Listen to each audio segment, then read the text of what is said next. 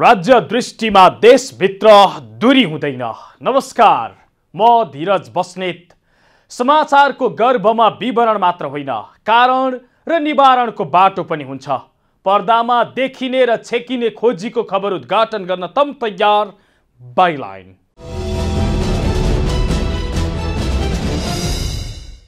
दर्शक वृन्द फेरि त्यही दिनको अवस्थामा पुर्याएको छ नेपालीलाई।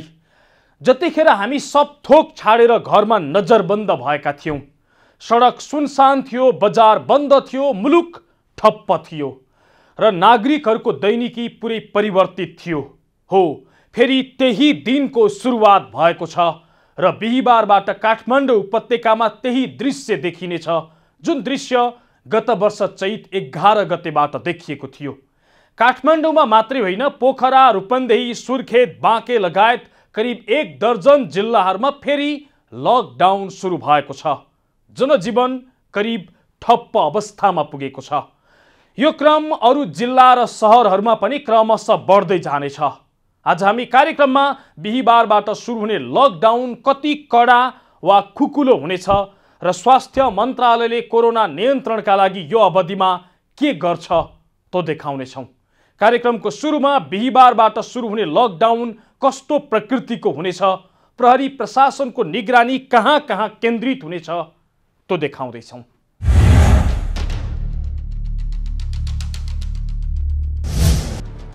बिहिबारबाट काठमाडौँ उपत्यकामा लागू हुने लकडाउन तुलनात्मक रूपमा खुकुले हुने जिल्ला प्रशासन कार्यालयहरूले सङ्केत गरेका छन्। पहिलो दुई दिन विचार गर्नकै लागि केही खुकुलो बनाउने र त्यसपछि लापरवाही बढे कडा गर्ने प्रशासनको तयारी छ। नागरिकले लकडाउनको कडाइका साथ पालना नगरे त्यसपछि लकडाउन कडा बनाउने काठमाडौँ जिल्ला प्रमुख जिल्ला अधिकारी कालीप्रसाद प्राजुलीले जानकारी दिए। अब अहिले हामीले त अब पहिले नै अब यस्तो थियो नि त। अब सचेतनाका अभियान अप्नाएको हो होइन? त्यसपछि त्यसपछि स्वास्थ्य प्रोटोकल अनिवार्य रूपमा पालन गर्नुपर्छ भनेको अब त्यो भन्दा भन्दै विभिन्न आदेशहरू जारी गर्दै अब आएको अवस्था हो। अब यो स्थिति लाई हामीले अझै भोलि कडाइका साथै लागू गर्छौँ। अब यस स्थितिबाट पनि अब हामी अझै त्यो भिडहरू चाहिँमा चाहिँ अब त्यो स्थिति सिचुएसन हेरेर फेरि थप कडा गर्ने स्थितिमा पनि हामी पुग्न सक्छौँ। काठमाडौँका प्रमुख जिल्ला अधिकारी प्राजुलीका अनुसार बिहिबारबाट सुरु हुने लकडाउनमा अत्यावश्यक बाहेक सबै सेवा व्यापार सार्वजनिक र निजी सवारी र हिडडुलमा समेत प्रतिबन्ध लगाइनेछ। एम्बुलेन्स खानेपानी स्वास्थ्य खाद्यान्न तरकारी फलफुल दुध र दुग्धजन्य पदार्थ ब्याङ्क वित्तीय संस्था दूरसञ्चार इन्टरनेट क्वारेन्टिन आइसोलेसन फोहोर मैला व्यवस्थापनका लागि खटिएका सवारी सञ्चालन हुन पाउनेछन्। खाद्य सामग्री पसलहरू दैनिक बिहान दस बजेसम्म र साँझ पाँच बजेदेखि सात बजेसम्म सञ्चालन गर्न पाइने प्रमुख जिल्ला अधिकारी प्राजुलीले जानकारी दिए। हामीले काठमाडौँ ललितपुर भक्तपुर तिनैवटा जिल्लामा चाहिँ अब यो हामीले अहिले निषेधाज्ञा भनौँ न लकडाउन होइन निषेधाज्ञा। गर्नको निम्ति अब तिनटै जिल्लाका प्रमुख जिल्ला अधिकारीले आदेश विभिन्न आदेशहरू जारी गरेको छ। यो भोलि बिहान छ बजेदेखि अहिलेलाई हामीले एक हप्ताको लागि जारी गरेका छौँ। अब त्यसमा त्यो आदेशमै स्पष्ट धेरै कुराहरू हामीले क्लियर गरिसकेका छौँ। यसमा मुख्यतया भिडभाड रोक्ने नै हो। भिडभाड हुन नदिने जमघट हुन नदिने सभा सम्मेलनहरू गर्न नदिने अनि अब यो सार्वजनिक र निजी सवारी साधनहरूमा चाहिँ रोक लगाउने उपत्यका प्रवेश गर्ने चाहिँ यो अत्यावश्यक माल बाहेक बाहेक र अत्यावश्यक कामका बाहेक अन्य सवारी साधनहरू प्रवेश गर्न नदिने मुख्य नै हो। अब यसमा अनि अब अत्यावश्यक काममा जाने कर्मचारीहरूलाई सम्बन्धित कर्मचारीको पासको आधारमा जान दिने भनेको छौँ। अब कर्मचारीको सङ्ख्या पनि अब मन्त्री परिषदको निर्णयमा पनि छ। एक तिहाई मात्रै उप उपस्थित गराउने। अन्य यो सार्वजनिक सेवा प्रवाह गर्ने कार्यालयकोहरूको सेवाहरूलाई पनि अहिले हाललाई चाहिँ अब अत्यावश्यक बाहेकहरू बन्द गर्ने स्थगन गर्ने र अब नगरी नहुने कामहरू गर्ने अरू चाहिँ गर्न नहुने भनेको छ। र अनि सर्वसाधारणको मार्कालाई ध्यानमा राखेर हामीले बिहान बिहान दस बजेसम्म चाहिँ पसल खोल्न खाद्य पदार्थ खाद्य सामग्री फलफुल तरकारी दुध यस्तो किन्ने त्यो व्यवस्था मिलाएको छौँ। फेरि बेलुका पाँच बजेदेखि सात बजेसम्म पनि दुई घन्टा त्यो अवधिमा पनि सामग्रीहरू खरिद गर्न पाउने व्यवस्था मिलाएको छ। यसको मतलब के हो भने अब अनावश्यक भिडभाड नहोस् भनेर हामीले बिहान अलिकति टाइम पनि दिएको किनभने दुई घन्टा मात्रै दियो भने एकैचोटि मान्छेहरूको भिड हुन्छ त्यो भिड पनि नहोस्। एउटा पालोमा प्रोटोकल पालना गरेर अनिवार्य रूपमा मास्क लगाएर अलिकति दुरी कायम गरेर गर्नु पर्यो। दोस्रो डेली पसल खुल्छ किनभने अब लकडाउन हो अब हप्ता हप्ता दिन पन्ध्र दिन बन्द हुन्छ भनेर आम पिपुलमा चाहिँ एउटा चाहिँ अनावश्यक सञ्चय गर्ने स्टक गर्ने जुन प्रवृत्ति छ त्यसको अन्त्य पनि होस् भनेर हामीले डेली दैनिक पसल खुल्छ खाद्य सामग्रीको पसलहरू। त्यो चार घन्टा बिहान बेलुका पनि दुई घन्टा खुल्छ। त्यो भएको हुनाले सर्वसाधारण आम नागरिकहरूले सहज रूपमा दैनिक किनेर खान सक्नुहुन्छ। त्यस्तै अस्पताल जानुपर्ने बिरामी क्रुवा एवं मृत्यु संस्कारमा अनिवार्य जानुपर्ने एवं अन्तर्राष्ट्रिय उडान भिसा र टिकट हुनेहरूले अनुमति लिएर यात्रा गर्न पाउनेछन्। जस्तो काठमाडौँमा रहेर कुनै त्यस्तो अत्यावश्यक काम परेको खण्डमा जिल्ला प्रशासनले अनुमति दिन सक्ने र सवारी साधनको लागि यातायात व्यवसायीहरूसँग सहकार्य गरेको पनि प्रमुख जिल्ला अधिकारी पराजुलीको भनाइ छ। अब यदा कदा छुटेको कोही हुनुहुन्छ अबर अबर परेको व्यक्ति हुनुहुन्छ भने पनि हाम्रो अहिले यातायात व्यवसायी साथीहरूसित सल्लाह गरेर त्यसलाई पनि हामी कसरी गन्तव्यमा पुर्याउने भन्ने विषयमा त्यो बारेमा पनि छलफल गर्छौँ। सरकारी कार्यालय बैङ्क वित्तीय संस्था सरकारी कर्मचारी लगायतको हकमा भने अफिसको आइडी कार्डले आवत जावत गर्न पाइनेछ। सञ्चारकर्मीको हकमा पनि आफू कार्यरत मिडिया हाउसले जारी गरेको आइडी कार्डले आवत जावत गर्न दिने गरी व्यवस्था मिलाएको छ। तर पत्रकारको नाममा नक्कली आइडी कार्ड बनाएर हिँडेको थाहा पाए वा भेटेमा उनीहरू बारे पनि निगरानी र अनुगमन गर्ने त्यस्तो थाहा पाए कानुन अनुसार कारवाही गर्ने पनि प्राजुलीले जानकारी दिए। र मिडियाका साथीहरूलाई पनि हामीले सुरुमा अब सन् सूचना तथा सञ्चार विभागले चाहिँ सूचना विभागले जारी गरेको चाहिँ परिचय पत्रको आधारमा चाहिँ आवत जावत गर्न दिने सूचना सङ्कलन गर्न दिने भन्यो। तर पछि अब यो मिडिया हाउसतिर काम गर्ने पनि धेरै पत्रकार अथवा त्यहाँ काम गर्ने चाहिँ फोटोग्राफरदेखि लिएर अन्य कर्मचारी हुनुहुँदो रहेछ त्यसको लागि पनि मिडिया हाउसको पासलाई मान्यता दिने भन्ने हामीले ट्राफिकलाई निर्देशन दिएका छौँ। तर आज मलाई के फिडब्याक आइरहेको छ भने मिडिया हाउसको नाममा विभिन्न ठाउँमा बसेर यो पास अनावश्यक कृत्रिम पासहरू बनिरहेको छ। तपाईँले त्यसले त्यसलाई चाहिँ कसरी नियन्त्रण गर्नुहुन्छ भन्ने पनि कुरा आइरहेको छ। अब मैले हरेक मिडिया हाउस हाउसलाई तपाईँको मिडिया हाउसबाट अथवा सञ्चार गृहबाट कतिवटा पास जारी भयो कसलाई जारी भयो त्यसको लिस्ट हामीलाई चाहिँ अथवा कतिजना कर्मचारी छन् कतिजना यो सूचना सम्प्रेषण गर्न चाहिँ लाग्नु भएको छ त्यसको लिस्ट हामीलाई प्रदान गर्नुहोस् भनेर हामीले त्यसमा पनि क्रस चेकिङको व्यवस्था पनि मिलाएका छौँ। अहिले बागबजारतिर यो विभिन्न ठाउँमा चाहिँ अब मिडिया हाउसको चाहिँ पास भयो भने हुन हिँड्न पाइन्छ भनेर अन्य व्यक्तिले पनि पास बनाएको भन्ने सूचना आइरहेको छ। त्यस त्यस्तो भेटियो भने हामी त्यसलाई कडा कारवाही पनि गर्छौँ। यस्तै विकास निर्माण कार्यमा प्रयोग हुने जनशक्ति र सामग्री ढुवानीको साधनको हकमा सम्बन्धित आयोजना वा कार्यालय प्रमुखको सिफारिसको आधारमा प्रमुख जिल्ला अधिकारीले जारी गरेको सवारी पास लिएर सञ्चालन गर्न पाइनेछ। अन्तर्राष्ट्रिय उडानबाट विदेश जाने यात्रुहरूको हवाई टिकट पासपोर्ट भिसा हुनेहरूलाई सिधै एयरपोर्ट जाने सवारी साधनको लागि सहजीकरण गरिदिने स्थानीय प्रशासनले जनाएको छ। सबै प्रकारका सभा सम्मेलन गोष्ठी तालिम seminar cinema hall party palace swimming pool shopping mall मनोरञ्जन स्थल सैलुन ब्युटी पार्लर जिमखाना समूहमा खेलिने खेलकुद पुस्तकालय चिडियाखाना आदि सञ्चालन गर्न नपाइने समेत आदेशमा उल्लेख छ। बिहे व्रतबन्धको हकमा बढीमा पन्ध्रजनासम्म स्वास्थ्य प्रोटोकल पालन गर्ने गरी जिल्ला प्रशासनबाट अनुमति लिएर मात्रै गर्न पाउने भएका छन्। हो सरकार पहिलो चरणमा तुलनात्मक रूपमा खुकुलो लकडाउन गर्ने र नागरिकको चहल पहल बढे कडा खाले लकडाउन गर्ने रणनीतिमा छ। तर स्वास्थ्य मन्त्रालय चाहिँ यो लकडाउनको अवधिमा कोरोना नियन्त्रण गर्न विशेष के गर्दैछ? त देखाउनेछौँ। तर एकैछिनको विश्रामपछि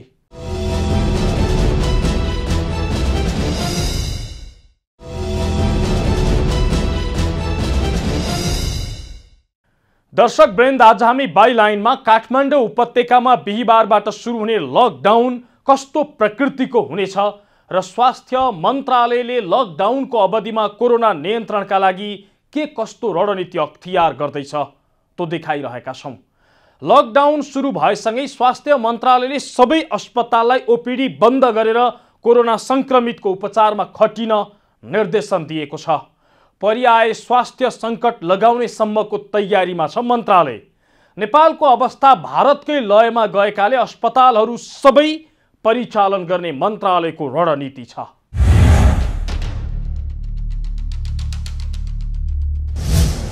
अघिल्लो वर्ष पनि भारतमा भन्दा एक महिनापछि नेपाललाई कोरोना संक्रमणको महामारीले गाँजेको थियो। यो वर्ष पनि भारतमा कोरोनाको नयाँ भेरिएन्ट सहित दोस्रो लहर सुरु भएको एक महिनापछि नै नेपालमा महामारी सुरु भइसकेको छ र भारतको भयावह स्थिति नेपालमा पनि हुने कुरामा शङ्का मान्नु नपर्ने चिकित्सकहरूको भनाइ छ।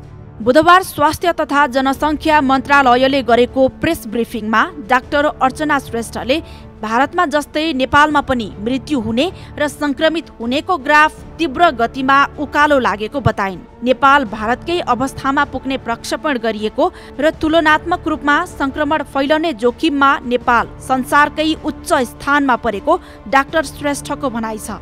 यो चाहिँ भारतमा पनि यस्तै नै देखिएको थियो र नेपालमा पनि अब भारतको जस्तै नै एकदमै छिटो माथि चढेको ग्राफ हामी देखिरहेका छौँ। यो सङ्क्रमितको सङ्ख्यामा मात्रै होइन यो चाहिँ पोजिटिभ द टेस्ट पोजिटिभको दर। यो चाहिँ टेस्ट पोजिटिभको दर चाहिँ हामीले एकदमै महत्त्वपूर्ण सङ्केत दिन्छ यसले। जति चाहिँ टेस्ट गरेमध्ये जति धेरै पोजिटिभ आउँछ त्यति नै छिटो चाहिँ सङ्क्रमण यो समुदायमा फैलिरहेको छ भन्ने कुरामा बुझ्नुपर्छ। र अहिले नेपाल र भारतको हामीले तुलनात्मक रूपमा हेर्दा नेपालमा भारतमा भन्दा पनि बढी टेस्ट पोजिटिभ रेट भएको देखिन्छ र यो यसले पनि हामीलाई के सङ्केत गरिरहेछ भने नेपाल अब भारतभन्दा पनि अझै छिटो द्रुत गतिमा नेपालमा सङ्क्रमणको दर बढिरहेको छ भन्ने कुरा। यो मात्र नभई मृत्युको सङ्ख्या पनि त्यस्तै गढी बढिरहेको छ। उनका अनुसार पछिल्ला दिनमा नेपालमा कोरोना संक्रमण द्रुत गतिमा फैलिएको र यही गतिमा संक्रमण फैलिँदै जाने हो भने एक महिनामै दैनिक एक लाख त्रियानब्बे हजार भन्दा धेरै व्यक्तिमा संक्रमण फैलिने अनुमान गरिएको छ। नेपालमा चाहिँ अहिले संसारभरिकै यो कोरोना भाइरस सङ् सर्ने सङ्क्रमणको दरलाई हेर्ने हो भने नेपाल सबैभन्दा उच्च स्थानमा पर्छ। यो ग्राफमा हामी हेर्न सक्छौँ।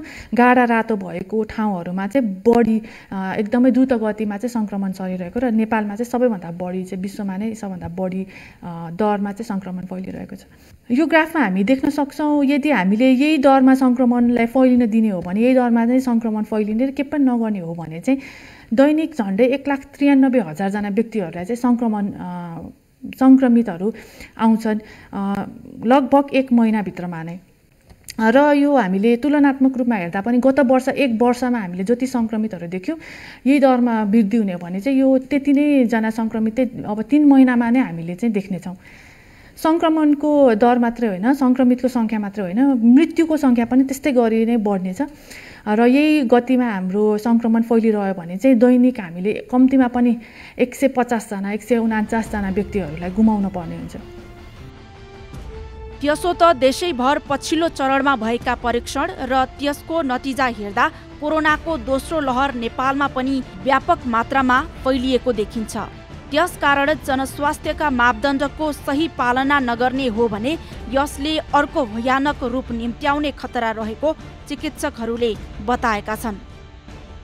जनस्वास्थ्यका मापदण्डहरू पालना गर्दा पनि हामीहरूले नेपाल सरकारले विशेष गरी जोखिमयुक्त स्थानहरूमा निषेधाज्ञा जारी गरेको अवस्था छ।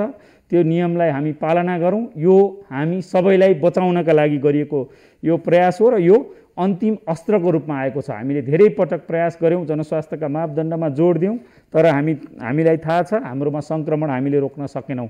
हामी धेरैले यो कुरालाई धेरै महत्त्व दिएनौँ। अब ढिला भइसकेको छ। कृपया जनस्वास्थ्यको मापदण्ड पालनामा कुनै हेलचक्राइ नगरौँ। घर बाहिर अत्यावश्यक काममा निस्कनै पर्यो भने अनिवार्य रूपमा मास्कको प्रयोग गरौँ र प्रयोग गरिएका विसर्जन गर्नुपर्ने मास्कहरूलाई बन्द डस्टबिनमा अथवा प्लास्टिकको झोलामा बन्द गरी सुरक्षित राखेर पाँचौँ दिनमा मात्रै अन्य फोहोरसँगै विसर्जन गर्नुहुन अनुरोध गर्दछौँ। नेपालमा सङ्क्रमितहरूको सङ्ख्या एक्कासी बढ्दै जाँदा अस्पतालहरूमा आइसियुको माग बढेको छ।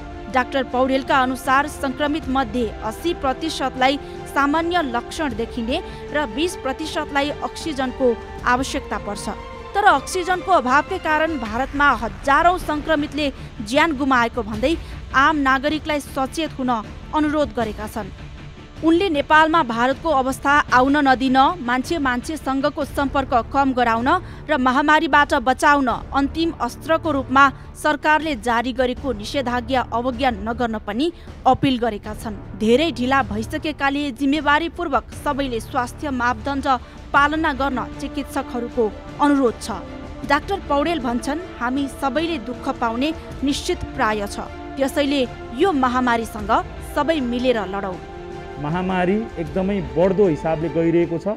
हाम्रो प्रणालीले थेग्न नसक्ने महामारी हुँदा हामी धेरैले दुःख पाउने प्राय निश्चित छ। यसै कारण सबैजनालाई सचेत हुन सजग रहन र सबैजनालाई उत्तिकै जिम्मेवारी बोधका साथ सबै निकाय सबै अङ्ग सरकारका निजी क्षेत्रका समुदायका सबै अङ्ग सबै प्रणाली सबै व्यक्ति विशेषहरूलाई अनुरोध गर्न चाहन्छु यो महामारी हामी सबै मिलेर लडौँ सबै मिलेर लड्यौँ भने मात्रै विजय प्राप्त गर्न सक्छौँ।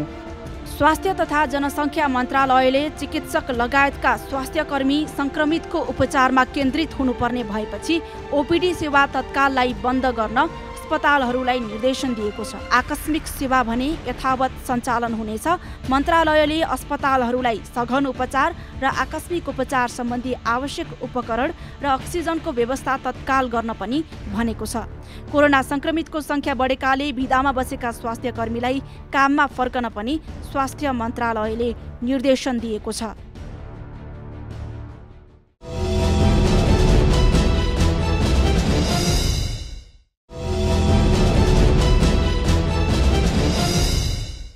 दर्शक वृन्द आज हामी बाइलाइनमा काठमाडौँ उपत्यकामा बिहिबारबाट सुरु हुने लकडाउन कस्तो प्रकृतिको हुनेछ र कोरोना सङ्क्रमण कुन गतिमा फैलिरहेको छ त्यो देखाइरहेका छौँ। नेपालमा कोरोना सङ्क्रमण दर यति अत्यास लाग्दो गरी बढेको छ कि पछिल्लो एक महिनामा मात्रै पचपन्न गुन्नाले वृद्धि भएको छ सङ्क्रमण। पछिल्लो एक हप्तामा मात्रै दुई सय अठाइस प्रतिशतले सङ्क्रमण बढेको छ।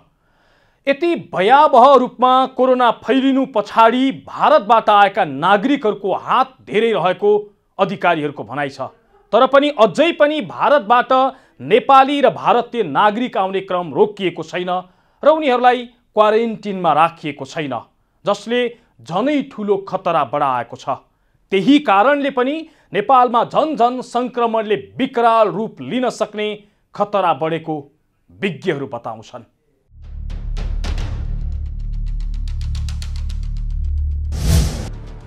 ठिक एक महिना अघि चैत पन्ध्र गते एकै दिनमा जम्मा उनानब्बेजना कोरोना सङ्क्रमित थपिएका थिए। तर त्यसको ठिक एक महिनापछि वैशाख पन्ध्र गते एकै दिनमा चार हजार आठ सय सन्तानब्बेजना कोरोना सङ्क्रमित थपिएका छन्। एक महिना अघि र एक महिना पछिको तुलना गर्दा एकै दिनमा थपिने कोरोना सङ्क्रमितको सङ्ख्या पचपन्न गुन्ना भन्दा धेरैले बढेको छ। अझै पछिल्लो दुई सातादेखि हरेक दिन कोरोना सङ्क्रमितको सङ्ख्या अत्यास लाग्ने गरी थपिरहेको छ।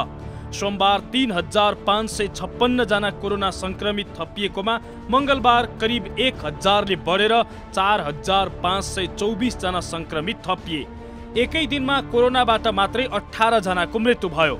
एक हप्ता अघि गत बुधबार दुई हजार तिन सय एकाउन्नजनामा सङ्क्रमण देखिएकोमा एक हप्तापछि आज बुधबार चार हजार आठ सय सन्तानब्बेजना कोरोना सङ्क्रमित थपिएका छन्। यो भनेको दुई सय अठाइस प्रतिशतले बढी हो। छिमेकी मुलुक भारतमा कोरोनाले झनै भयावह रूप लिएको छ। हरेक चौबिस घन्टामा साढे तिन लाखभन्दा धेरै नयाँ कोरोना सङ्क्रमित थपिरहेका छन्। दैनिक करिब तिन हजारले कोरोनाकै कारण ज्यान गुमाएको तथ्याङ्क छ। भारतमा कोरोना सङ्क्रमण नियन्त्रण बाहिर गएपछि भारतमा रहेका नेपालीहरू हजारौँको सङ्ख्यामा नेपाल फर्किरहेका छन्। त्यसैको परिणाम बाँके र सुदूरपश्चिमका जिल्लाहरूमा देखिन थालेको छ जहाँ सङ्क्रमितले अस्पतालमा भर्ना पाउन छाडेका छन् भने अस्पताल पुगेकाहरू अक्सिजनको अभावमा छटपटिरहेका छन्। काठमाडौँमा पनि यही अवस्था आउने खतरा बढ्दै गएको छ। पूर्ण रूपमा कोरोना सङ्क्रमितको उपचारमा केन्द्रित भएको टेकु अस्पतालमा सङ्क्रमित खचाखच भरिएका छन्। नयाँ बिरामीले भर्ना पाउने सम्भावना कमजोर बन्दै गएको छ। बाँके र सुदूरपश्चिमको भयावह स्थितिले आम नेपालीलाई झस्काएको छ। यहाँका अस्पतालहरूमा कोरोना सङ्क्रमित अटाउन सकिरहेका छैनन्। कोही निको भएर डिस्चार्ज भए वा कसैको मृत्यु भए आफ्नो बिरामी भर्ना गर्न बेड पाइन्थ्यो भनेर ढुक्नु पर्ने अवस्था छ। चिकित्सकहरू आफै सङ्क्रमित भइराखेका छन् जसले सङ्क्रमित उपचारको दायरालाई अझ साँघुरो बनाइदिएको छ। पाटन अस्पतालका निर्देशक प्राध्यापक डाक्टर रवि साक्य पनि अत्यावश्यक काम बाहेक घर बाहिर ननिस्किन आग्रह गर्छन्। उनी भन्छन् हामीले सधैँ मान्छे मरेको देखिरहेका छौँ यसलाई गम्भीर रूपमा हेर्नुहोस्। सबैले स्वास्थ्य मापदण्डको पालना गरिदिनुहोस्। समाजका गण्यमान्य अग्रज अग्रजहरूले पनि उनीहरूले पनि नगरिरहेको हामी यत्र टिभीमा देख्छौँ। कसैले मास्क पनि नलाइरहेको भेला सभा भेला गरिरहेको हामी दिनदिनै देखिरहेछौँ त्यसले गर्दाखेरि हाम्रो जनमानसमा पनि के गएको छ भन्दाखेरि आखिर यो त यो त खतरनाक होइन कि? यो यो रोग त्यसै हामी डराउनु पर्दैन कि भन्ने कुरा हिसाबले चाहिँ मान्छेहरू अलिकति रिल्याक्स भए जस्तो चाहिँ महसुस भइरहेछ। र मेरो हामी चाहिँ अब चिकित्सकहरूले हामी त दिनदिनै बिरामीहरू मरिरहेको हेरिरहेछौँ। र त्यसैले यसमा मेरो सबैजनाको के अनुरोध छ भन्दाखेरि यो रोग नलागेसम्म त ठिकै हो। लागेपछि यो खतरनाक छ र यसमा हामी सबैजना सजग हुनुपर्छ र सावधानी त अप्नाउनै पर्छ। नेपालमा पछिल्लो दुई साता यता त्यस्तो कुनै दिन छैन जुन दिन कोरोना सङ्क्रमितको मृत्यु नभएको होस्। सङ्क्रमितको सङ्ख्या घटेको होस्। हरेक दिन तिन भन्दा धेरै सङ्क्रमित थपिन थालेका छन्। यही अवस्था रहे दैनिक एक सय पचासजनासम्मको कोरोनाकै कारण मृत्यु हुन सक्ने अमेरिकाको एक विश्वविद्यालयले गरेको अध्ययनले देखाएको छ। जुन अध्ययनको निचोड स्वास्थ्य मन्त्रालयले पत्रकार सम्मेलन मार्फत सार्वजनिक गरेको थियो। हरेक दिन बढ्दैछ सङ्क्रमित र मृतकको सङ्ख्या। कुन दिन कति? वैशाख आठ गते परीक्षण नौ हजार छ सय सडचालिस सङ्क्रमित दुई हजार तिन सय एकाउन्न मृत्यु दस वैशाख नौ गते परीक्षण दस हजार चार सय अडचालिस सङ्क्रमित दुई हजार चार सय अठाइस मृत्यु पाँच वैशाख दस गते परीक्षण नौ हजार छ सय चौसठी सङ्क्रमित दुई हजार पाँच सय उनासाठी मृत्यु पाँच वैशाख एघार गते परीक्षण आठ हजार छ सय अडसठी सङ्क्रमित दुई हजार छ सय उन्नाइस मृत्यु चौध वैशाख बाह्र गते परीक्षण दस हजार अठहत्तर सङ्क्रमित तिन हजार एक सय बाइस मृत्यु अठाइस वैशाख तेह्र गते परीक्षण तेह्र हजार दुई सय तिरानब्बे सङ्क्रमित तिन हजार पाँच सय छप्पन्न मृत्यु बाह्र वैशाख चौध गते परीक्षण पन्ध्र हजार छ सय एकासी सङ्क्रमित चार हजार पाँच सय चौबिस मृत्यु अठार वैशाख पन्ध्र गते परीक्षण चौध हजार आठ सय चौतिस सङ्क्रमित चार हजार आठ सय सन्तानब्बे मृत्यु सत्र। हो सङ्क्रमणको ग्राफ यति तीव्र गतिमा बढ्दै गएको छ कि यही अवस्था रहे स्थिति सम्हाल्नै गाह्रो पर्नेवाला छ। स्वास्थ्य मन्त्रालयकी आकलन मान्ने हो भने हरेक दिन एक सय पचासजनाको कोरोनाकै कारण मृत्यु हुनेवाला छ। यो हामीले अत्याएको होइन सचेत हुनका लागि गरिएको आग्रह हो र मन्त्रालयले पनि त्यही बमोजिम यो आँकडा निकालेको हो। सङ्क्रमित भएर छटपटाउनु अघि नै सजग बनौँ हामी सबै। लकडाउनको कम्तीमा एक साता पालना गरौँ। यो सबै हाम्रै लागि हो र हाम्रै परिवार जोगाउनका लागि हो। हौस् त आजलाई काठमाडौँ उपत्यकामा कस्तो प्रकृतिको लकडाउन गर्न लागि हो र कोरोना रोकथामका लागि स्वास्थ्य मन्त्रालय कस्तो कदम चाल्दैछ भन्ने प्रसङ्ग यति नै। मुलुकको माटो जहाँ छोए पनि राष्ट्र एकैचोटि जागरुक हुन्छ। यो दूरीविहीन आचरण नै समाचार समाचारको मूलधार बाइलाइन अर्थात् जिम्मेवार पत्रकारिता। नमस्कार।